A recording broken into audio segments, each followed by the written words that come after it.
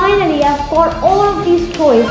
They look beautiful and I recommend you to buy them too if you're Godzilla fan. Make sure to like and subscribe or else these toys are coming for you.